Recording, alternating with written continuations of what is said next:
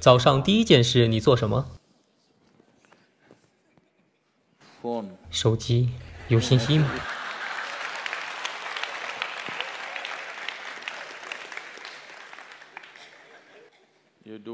你做一件事你早上起床然后微笑对谁微笑？不对任何人。微笑不是关于某人。当这个人有某种特定感受时微笑产生了不是吗？是不是？除非你是受过训练的公关人员你学会了之类的东西。否则有微笑是因为某些东西正发生在你的内在而不是因为某人出现在你面前不是吗？所以你早上第一件事是微笑这需要二十秒。Ok 好吗？如果你无法对身边的人微笑那就只是微笑。